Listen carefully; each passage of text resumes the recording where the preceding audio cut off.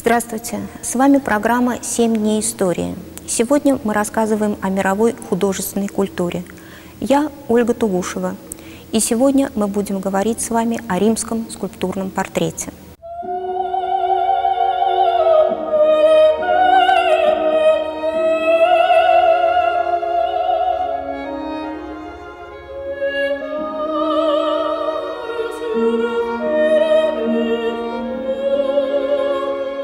Истории античного искусства римский скульптурный портрет занимает особое место. На протяжении почти пяти столетий римские скульпторы создали сотни портретов, благодаря которым сегодня история Рима предстает перед нами в конкретных образах государственных деятелей и полководцев, императоров и простых граждан, философов и ростовщиков – Римские портретисты впервые в истории мирового искусства не просто воплотили индивидуальный облик конкретного человека, но и передали его характер.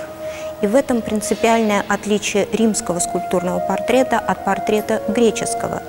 Ибо греческие скульпторы прежде всего стремились передать некий обобщающий образ поэта, философа, государственного деятеля, показать человека таким, каким он должен был быть.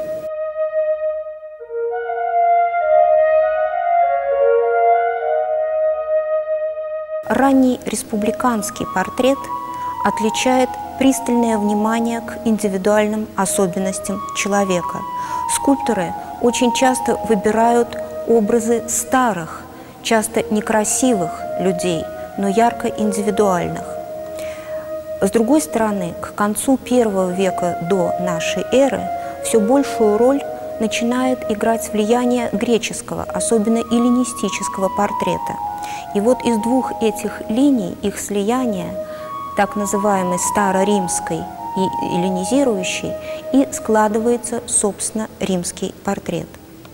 Примером раннего республиканского портрета может служить прекрасная голова мужчины в собрании музея.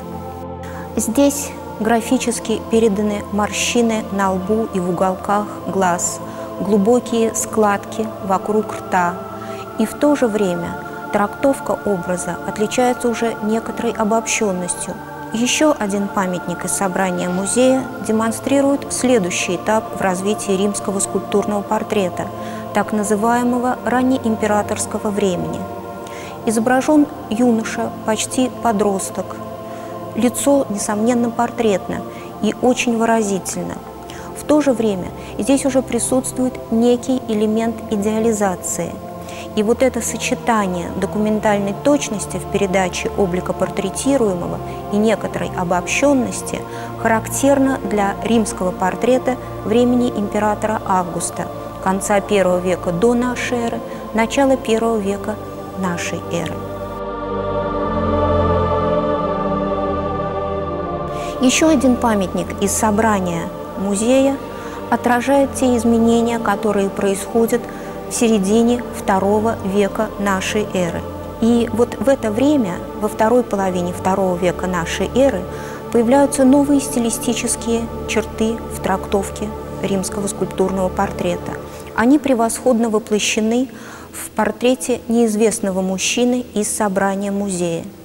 Перед нами человек средних лет, широкий лоб, немного впалые щеки, мягко очерченный лоб – в это время скульпторы начинают полировать мрамор на поверхности лица, и вот эта гладкая, ровная поверхность контрастирует шероховатой, пышной шапкой волос и бороды, исполненных буровом.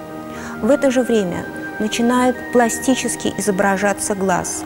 Контур рандушной оболочки очерчивается процарапанной линией, зрачок пробуравливается, и в центре его всегда скапливается тень.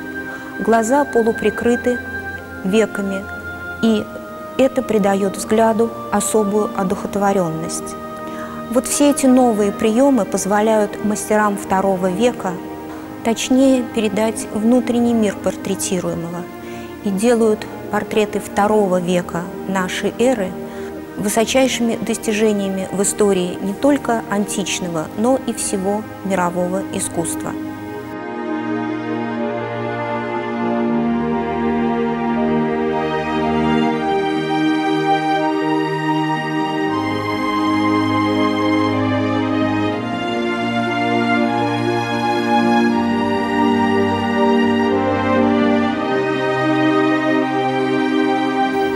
Вами была программа «Семь дней истории». Сегодня мы говорили о мировой художественной культуре. Завтра смотрите программу, посвященную истории древнего мира.